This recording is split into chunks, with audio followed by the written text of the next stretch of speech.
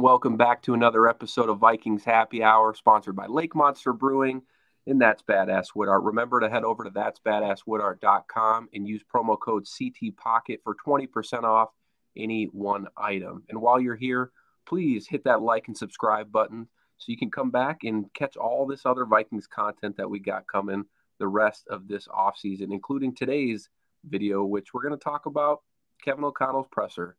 Uh, he's at the NFL annual league meeting, and he sat down with some media folks today to kind of give, you know, some insights, field some questions just about the offseason thus far. Um, and Ryan, I wanted to kind of just get your takeaways on, on what you thought about Kevin O'Connell today.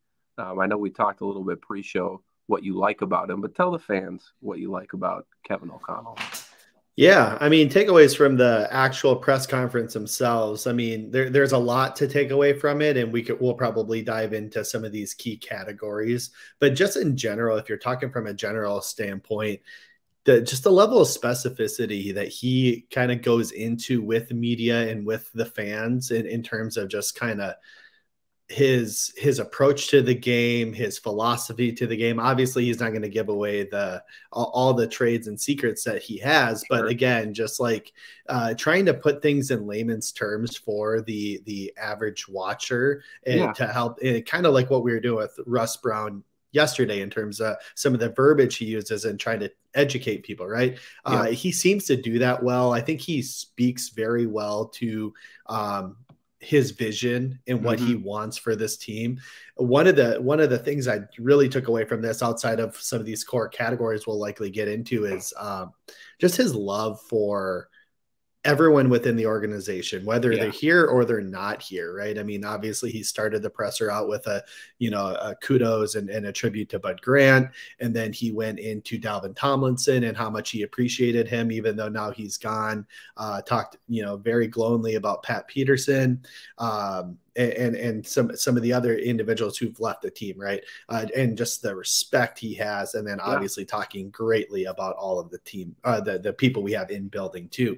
It's just it, he really seems to be creating a really good culture um, built around you know just trust, built around respect, and and built around uh, empathy. I think is probably a good word here. Yeah. He touched on a lot of different things too throughout this press conference, a wide range of topics. Um, obviously, you touched on the first one, very touching tribute to Bud Grant and just how, you know, his how that relationship sort of came to be when he was with or when he first started with the Vikings. Bud Grant was at his his press conference and just sort of in a Bud Grant fashion was like, "Hey, you, we should uh, we should get lunch soon." And then that just culminated into uh, a weekly visit for them, which Kevin O'Connell speaks very highly about, um, and, and, credits Bob Hagan for setting that up as well. Um, but one other thing that he kind of transitioned into right off the riff, which I thought was a, a pretty good question by someone, is, is Dalvin Tomlinson, um, because they pushed out that void year um, or void, void date.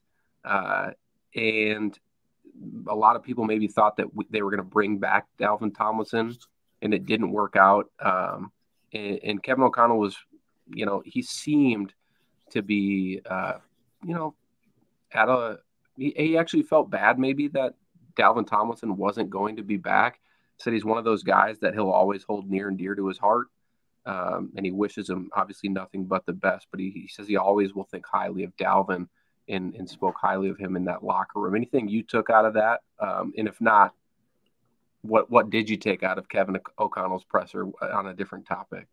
Yeah, no, I mean, again, just kind of going back to what I was saying a little bit earlier was just the fact that he truly is creating a really strong culture where yeah. respect is earned and but respect is given when earned.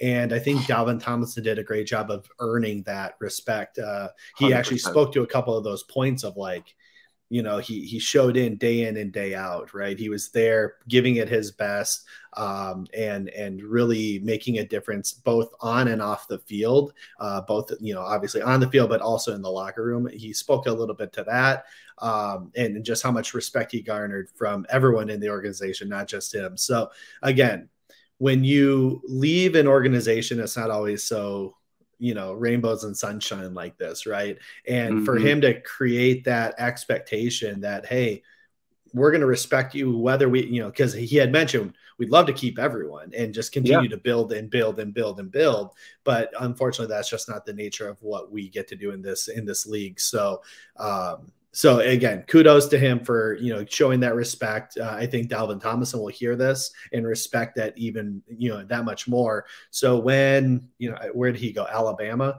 So when a young Alabama guy that he's mentoring is like, hey, Minnesota, right? Like he's going to probably speak highly of the Minnesota Vikings and and what we were able to do uh, with our time together. So it, it's all relevant. Hundred percent, and kind of staying on the defensive side of things we got to hear a little bit more about O'Connell's infatuation almost with Brian Flores.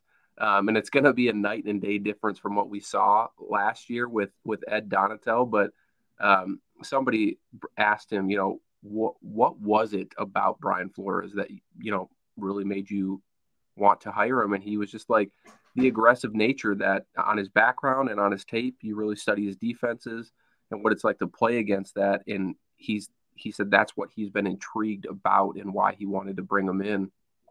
Um, I'm excited, man. I I know we've talked about it at at nauseum about the aggressive style we anticipate in this Vikings defense, but it's going to be way better than what we saw yeah. here. Yeah, I mean, and he was even talking. I think somebody had asked a question around like the league and like I think it was something around like average depth of target was down the lowest since 20, 20 uh, 2006. Yeah. And when, when you look at it from that perspective, you kind of gave a reason to why, right? Like what, what his philosophy is, is trying to keep everything from, you know, uh, somebody deep, right? Mm-hmm. And that leaves a lot of air in that intermediate part, which is what we as our offense likes to take advantage of with the Justin Jeffersons and KJ Osborns and TJ Hockensons of the world. Yeah. Now, when we look at it from the perspective of, okay, now our defense is changing, I don't know. Like, I wonder if he still wants to keep that philosophy of, hey, let's make sure nobody beats us deep, but with a more aggressive nature where maybe there is going to be that air there, but we maybe won't get that that that team enough time to get there if that makes sense so yeah. because we're going to be blitzing and we're going to have an aggressive nature to uh, the way we attack that quarterback and making him uncomfortable uh, that you know hopefully we would be able to mitigate some of those gains that were so frustrating last year in the middle of the field. well, and hopefully some of the the people we draft uh, will help, and maybe there's people in free agency still that we can target because um, he did touch on Byron Murphy a little bit as well. Um, and it's nothing new, right? Like we've talked about it on this show plenty of times, but what Byron Murphy brings is that inside outside flexibility. Um, and I think that, you know, hearing him say that and, and how they're going to kind of utilize him in that aspect makes me feel comfortable about the signing even more. I mean, I was ecstatic with with the signing to begin with, but just to hear him vocalize, yeah, this is how we plan on using Byron Murphy. He's not just going to be a one trick pony. He's going to be our our versatile uh, cornerback to to help out. And, and, I like how he likened him to Jalen Ramsey with the Rams, right? Like how he'll move all over the place. yep, yep, absolutely.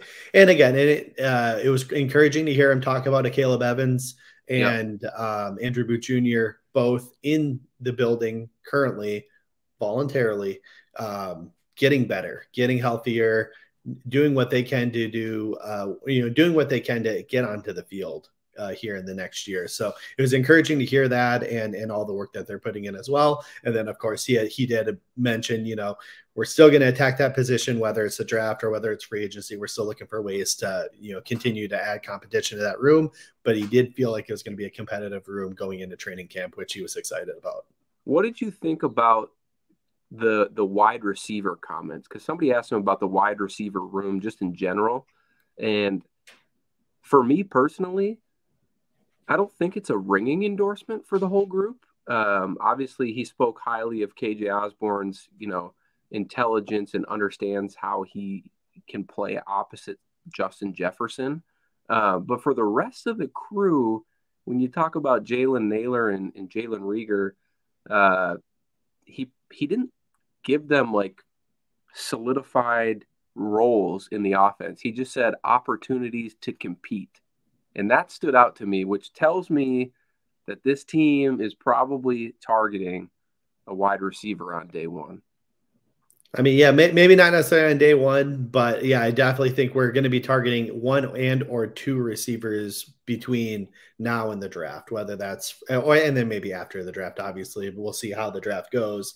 Uh, but yeah, I, I definitely think that there's still holes to be uh, filled there. That mm-hmm. he is looking to replenish skill set wise into that scheme that he we don't currently have now. Obviously Nailor I think, does fit that kind of field stretcher ability, but yeah. he's still pretty green. And uh, Reagor, I don't know. I, I, don't know what to think of him. I, I had high hopes when we traded for him just because, you know, I, I, didn't mind him. I didn't mind his tape coming out. I didn't think he was better than Justin Jefferson or Brandon Aiyuk or Tee Higgins, but I, I thought he was you know a, a, fine receiver. So I wish he would be able to put up more than he is doing right now. Yeah. Um, and, and maybe things will turn around with a year, well, year one and a half into this offense or year two in this offense. Um, yeah. So I, to your point though, we're definitely going to be addressing that position at some point and pr- probably with multiple people if he's saying that those guys are competition. But on the flip side, he did quickly transition to something that I think is a strength on this team, which is the tight ends. Um, he, he, he did give a lot of kudos, obviously, to TJ, Josh Oliver, um, uh, Ellefson. Yep. Uh, is Mundt still in the team? Yeah, he is. Yeah, yeah Mundt um, and and our uh, Muse. He he mentioned all of those guys and saying they're going to be able to provide us a lot of opportunity and again, he, this goes back to some of the depth things at receiver where, you know, we can go three tight ends, we can go five wide. Like he feels confident we can do, you know, any and all, but mention how he said five wide, but we really only have four receivers. I mean, I know we have some other receivers on roster, but like we only have four like receivers if you're TJ as a wide receiver too. Like that is his plan 100%. Sure. So if, if you say five wide with TJ as one of those guys, I mean, sure. Do you really want to be trotting Nailor and Reagor, uh, uh, and KJ and JJ as part of that five? You know, maybe you do. Again, Nailor did show spurts of quality play at the end of the year when he got an opportunity. But again, it's not like he was playing the elite, you know, crop of defensive backs either. Right. So we'll see how much he improves. I mean, maybe he takes that KJ Osborn leap. Um, I love I love how we refer to it as a KJ Osborn leap, by the way, where you know you have nothing year one basically, and then all of a sudden you're relevant. Uh, but yeah, I mean, let's see if he can make that leap now. I hope he can. Um, but you, when you speak again about Kevin O'Connell's just like talk about the offense in, in next year, we again got more validation that this team wants to run the ball. He he talked about it today about marrying the run and the pass, being less predictable. Um, in that sense. And here we are. I mean, it's it's almost April. I know there were rumors around Dalvin Cook potentially leaving this team, but he's still here. So that tells me that they really are going to run forward with Alexander Mattison and Dalvin Cook again. Um, and hopefully, you know, pound the rock in 2023. Yeah, I mean, it, you definitely want to have that balance, as he had mentioned in the press conference, and you know, whatever we need to do to get there. I still don't know if keeping both of those guys is the in best interest could, of the team. It could but, be a draft day trade, right? Like, yeah, yeah. I mean, what? But even if you do do that, you're likely looking at potentially replacing him with a draft pick, then, right? Like a sure later round guy, whatever. But you know, still want to you know replenish that. We still don't know what we have in Ty Chandler. Uh, Kene Nwangwu hasn't really shown anything in, in as a running back, great returner. Yeah. Um, and then obviously Alex Mattison being the bell cow if Dalvin Cook's gone. So, um, yeah, definitely. And another quick thing about the press conference too, kind of in this realm of you know the analytics and and trying to i was going to bring know, this up so i think you're heading where i was going to. Yeah it was well it is just like his um, decision making in game yes. and his ability to uh, you know know when to go for fourth down or you know I, I liked how he said that there's still kind of that gut feel because i really feel that way too. There's yeah. you know, obviously analytics going to tell you one thing or another but there's the flow of the game and there's like you know all of these outside factors that analytics can't really uh, quantify like momentum and things like that uh, yeah. that he still kind of takes into consideration in his decision making which again i find great and then an, another just culture building thing. He gives kudos to a, a, a, guy he hired specifically to help him manage this in game in real time, which yeah. and and I forget the name, but that just kind of shows you like you're giving credit where credit's due. People remember that. People uh, are you know will go to bat for you, will run through a wall for you when they know that you are giving them the kudos and the attention and the love that they deserve. So just another you know high highly positive thing to think about Kevin o- or that Kevin O'Connell does to create a better culture. Yeah, and the, and the question that was asked to get that answer, it, he kind of took it in an analytical way, but somebody asked him about Sean McDermott taking over play calling in Buffalo now that Leslie Frazier is, is you know taking a year off, and um, he talked about how that guy who the name is escaping me as well, but the guy who helps him in the booth um, really helps him become an efficient play caller because he's in his headset telling him all of these different decisions he could make based on analytics and whatnot. But then again, the gut feel that goes into there. Um, the last big thing from this presser, at least for me personally, um, and I feel like we can kind of read between the lines here, but you know, some people aren't ready to say goodbye to Kirk Cousins, but he was asked about quarterback contracts and said that teams are either satisfied with the guy they have because they're a franchise changing quarterback or they're excited to look for the next one. Um, did not say which bucket the Vikings were in, but then went on to talk about the quarterback contract and said it's a clear benefit of drafting one, having those four years of that player on that scale that allows you to build the roster around those players. It's been an advantage since the rules changed. I mean, I mean, we, we've been preaching this on this show. Uh, you, me, Myles, Jason, uh, Flip, you know, everyone's kind of been saying this over the last couple years that, you know, unless you have that, that guy, which again, he's saying, he was saying in the press conference, like, if you have that guy, you're paying him and you're okay doing that because he's that guy. Unless you have that guy, um, you know, it's hard. It, basically, it's hard to win in this league because of the, the, the cap constraints that you get and and not being able to build around your team. Again, he didn't say this verbatim, but he's kind of giving this as an overarching theme here. And um, with us being kind of in with his answers kind of being non-committal towards anything outside of 2023 on Kirk Cousins, you can kind of read the tea leaves that he's interested in trying to find that next guy. Um, granted, you know, maybe it doesn't work out. Maybe we don't have a trade partner. Maybe somebody doesn't fall to us. Maybe, uh, you know, we play well enough next year where we're not in position for the next guy. You know, again, Kirk Cousins is a good quarterback. Nobody on this show will say otherwise. He, he's a high, you know, I would say even like a above average, you know, high quality quarterback. But in order for us to get to that next step, you need to find one of those guys. Again, yep. it doesn't have to be Patrick Mahomes, doesn't have to be the unicorn Josh Allen, but you have to find somebody who can play at a very high level early on in their rookie contract to allow us to compete while um, while we uh, build that roster around them. Absolutely. Yep, I'm on the same page with you, and I I feel like a month from now, which we're officially, by the way, a month from the NFL draft, a little less now. Um, I feel like we could be talking about a new quarterback in town. I, I'm just trying to read the tea leaves here, and I, I, I feel like it's headed in that direction. But I guess we'll, we'll wait and, and see when when the NFL draft finally gets here. Well, and it's kind of interesting. I've been listening to podcasts all over the the podcast sphere and uh, talking about the different levelings of these quarterbacks and stuff. The only thing that I can find consistently is that Stroud and Young won't be available to us. Yeah. But outside of that, I mean, some people say you know Levis is to the guy. Somebody uh, like early on. Some people say Richardson. Some people saying Hooker can make it uh, their way up into the top ten. I, I don't know. That's yeah, crazy to me, but, one, but, you know, you know, but people are saying it. Um, the likelihood, I think I, I heard the statistic today that um, the only time there's been four quarterbacks taken in the top 11 picks was 2021. It's never been done, or at least in you know recent history, um, within within the top 10, which likely means that there's somebody that's going to be slipping mm-hmm. um, outside of that top 10.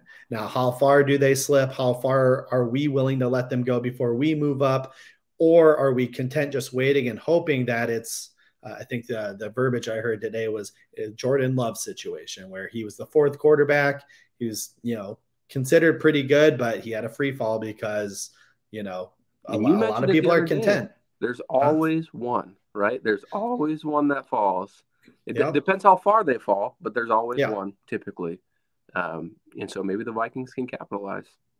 Let's hope so. I mean, Lamar Jackson, that was him in 2018, and we decided to trade for Kirk Cousins, or you know, sign Kirk Cousins, not trade, sign Kirk Cousins to the what big contract. Crazy, crazy alternative universe that is.